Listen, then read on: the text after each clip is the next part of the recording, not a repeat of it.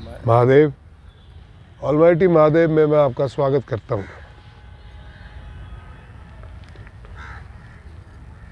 डर गया समझो, जो जो डर गया वो मर गया।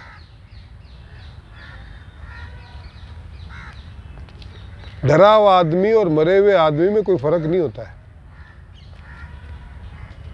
तो आज इसी विषय पे अपन वार्तालाप करेंगे। सबसे पहले तो जो मेरे इस सनातन परिवार के सदस्य हैं, उनका कोटि कोटि अभिनंदन है भाई। और जिन्होंने सब्सक्राइब नहीं किया है, उनसे निवेदन है कि प्लीज़ सब्सक्राइब कीजिए शेयर कीजिए कमेंट कीजिए और कंट्रीब्यूट ज़रूर कीजिए दोस्त।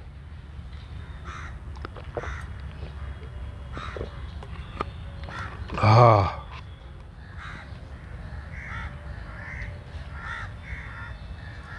डरा हुआ आदमी जो है वो मरे हुए के समान ही होता है। मुझे कुछ लोगों ने, कुछ लोगों के समूह ने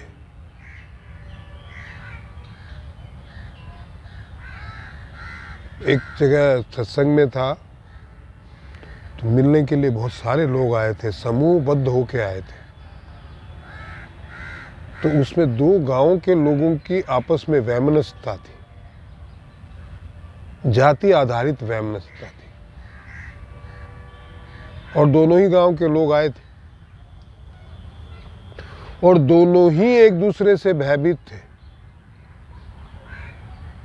और दोनों को ही एक दूसरे से शिकायत थी।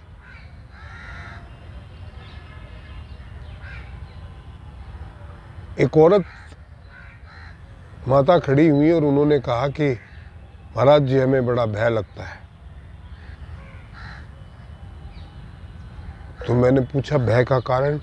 कि ये पड़ोस के गाँव के लोग हमारे गाँव पे हमला करते हैं और हमारे लोगों को मार डालते हैं। कारण वाजिब फिर वहाँ की एक एक महिला उठी, उन्होंने कहा कि हमें भी भय लगता है। मैं कभी आप तो इनको मारते हो तो फिर आपको भय कैसा? बोला, हमने इनके लोगों को मारा, अब हमें भय है कि ये हमें मारेंगे।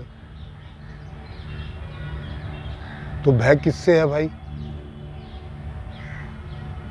कर्मों से। इनको तो भय कर्मों से ही है। और इनको भय वाजिब है क्योंकि इनको पहले इनके लोगों को मारा है, दोबारा भी मार सकते हैं। दुश्मनी बच्चों से शुरू हुई थी, बच्चों की आपस की लड़ाई से। तो मैंने उन दोनों से कहा कि ये आपकी लड़ाई ख़त्म नहीं हो सकती क्या? अगर मेरे पास आप दोनों को भयमुक्त करने का एक साधन है। बोले, क्या महाराज जी? मैंने कहा, अगर मानो तो। अगर आप भय मुक्त होना चाहो तो मेरे पास निदान है इस समस्या का। मैं कहा, आप लड़ाई मत करो। भय मुक्त हो जाओगे।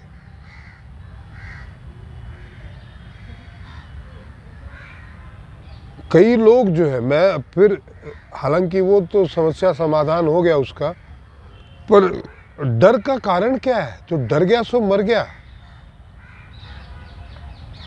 मृत्यु जब आनी है, आएगी, जैसे आनी है, वैसे आएगी। आप मृत्यु को टाल नहीं सकते भाई। तो मरने से भय कैसा? मैंने कई ऐसे लोग देखे हैं जो बाथरूम में बैठे हैं, पैर फिसल गया। बैठे बैठे कई। और सर पे चोट लग गई, मर गया। अब वहाँ तो किसी को किसी से कोई खतरा नहीं था।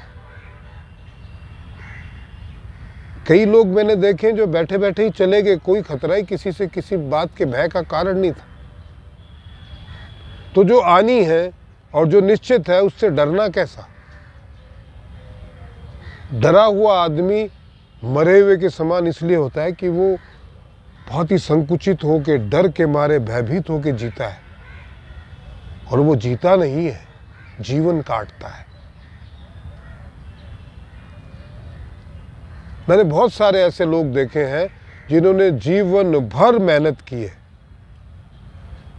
अब जब उनको सफलता मिलने वाली थी, वो थक गए, घबरा गए, डर गए कि यार अब और मेहनत नहीं होती, कितना खोदूँगा मैं? अब पानी नहीं निकलने वाला। और पानी एक अंगुल नीचे होता है। दो कुदाली और मारी होती और पानी निकल गया होता। मज़े की बात यह है कि बाकी लोग भी उस कुएँ को जो है ढक देते हैं या उसको वापस से मिट्टी डाल देते हैं कि यहाँ पानी नहीं निकलेगा। जितनी उसने मेहनत की, उससे आगे मेहनत करने का कोई मादा नहीं उठाता कि यार इतनी तो ये करके गया थोड़ी अपन और कर लेंगे तो शायद निकल जाए।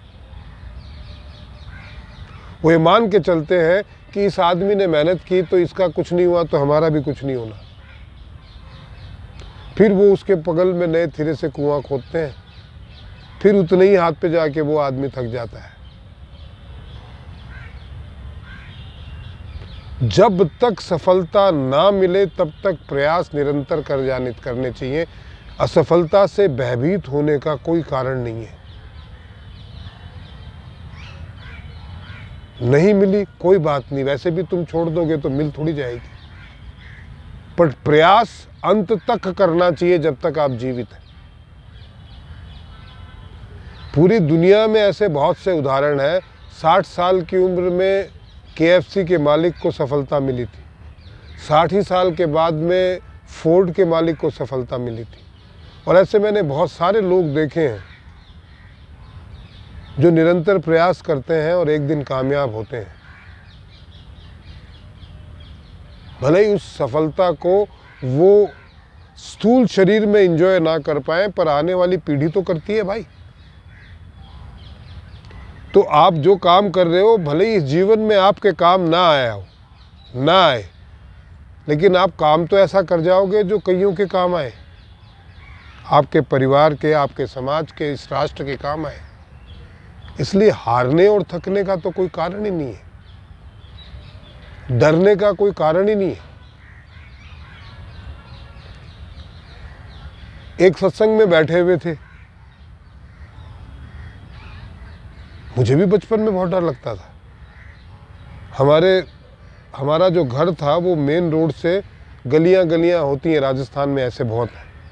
तो गली के अंदर जाके और उस गली में पूरा सुनसान रास्ता। खंडर पड़े हुए हैं, हवेलियाँ हैं। अब तो पता नहीं कि बहुत सारे साल हो गए। और उसमें एक हवेली के अंदर एक लड़की ने आत्मदाह किया था। तो बार बार ये कहते थे कि उसकी भी वो आत्मा वहीं घूमती है। राइट साइड में एक धर्मशाला थी जो कभी कभार ब्याह शादी में ही खुलती थी। और मैं जब रात को छोटा बच्चा था तो रोड से वहाँ तक जाता तो अपने ही पदचापों को सुन के डर जाता था कि ये पता नहीं किसकी पैरों की आवाज़ चप्पल की आवाज़ तो डर का तो कोई कारण ही नहीं है। आज नहीं लगता डर। भय मुक्त होना चाहिए इंसान को। और सबसे ज़्यादा इंसान जो है, जो असफल लोग हैं, वो वही हैं जो असफलता से डर के काम करना बंद कर देते हैं। सफल वही हुए हैं जिन्होंने असफलता कई बार देखी, लेकिन काम को त्यागा नहीं। क्योंकि असफलता आपकी सफलता की हर एक सीढ़ी है। सौ बार आप एक्सपेरिमेंट करेंगे, एक दिन कामयाब हो ही जाएँगे। इसलिए किसी ने सही कहा था कि डर के आगे जीत है। भारत विश्व कप क्यों हारा कि हार के डर से हार गया? कहीं हार ना जाए। जीता हुआ मैच था वो। दस ओवर में उनके तीन विकेट चले गए थे। लेकिन उन्होंने अग्रेसिव बॉलिंग और फील्डिंग नहीं की। कि कहीं इन्होंने दो चार चौके मार दिए तो। वो मारते भी। वो भी संघर्ष करते, लेकिन उसी में उनके विकेट और गिरते। और आप जीत का वर्ण करते। आप निरंतर जीतते आए। और फाइनल में हार के डर से हार गए।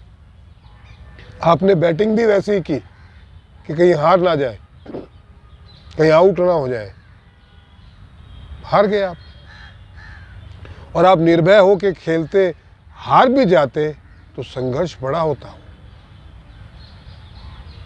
इसलिए मेरा ऐसा मानना है कि मेरे परिवार के लोगों को मेरी हिदायत है। भयभीत मत होइए। निश्चिंत रहिए। जीत आपकी अवश्य होगी। अगर आप में हार का डर नहीं है तो। आज के वीडियो में इतना ही। आशा आपको पसंद आया होगा। प्लीज़ सब्सक्राइब कीजिए, शेयर कीजिए, कमेंट कीजिए और कंट्रीब्यूट ज़रूर कीजिए। महादेव।